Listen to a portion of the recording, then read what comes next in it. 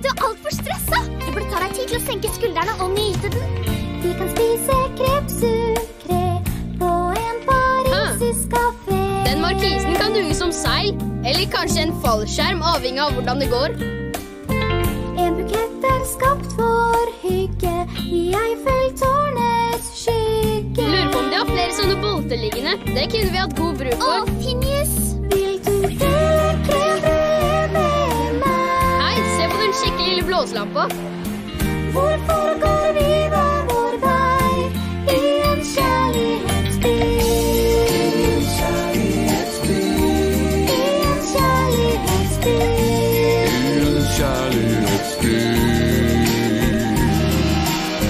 Vi kan smake på fransk eller gå på galleri. Lurer på om oljemaling er lettantennelig, så de kan brukes som drivstoff.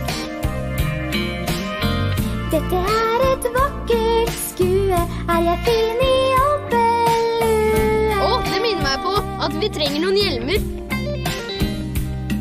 Han deler